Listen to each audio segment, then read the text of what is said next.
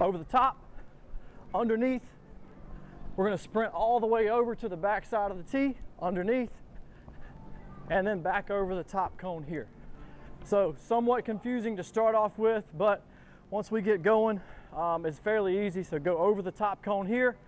That's going to get you to kind of make the figure eight at the top of the tee. So underneath the far cone, we're going to go all the way to the other side. We're going underneath this one. Again, just like our L drill, this is going to allow us to kind of loop around a little bit and cut this corner to where we can get a pretty straightforward finish line.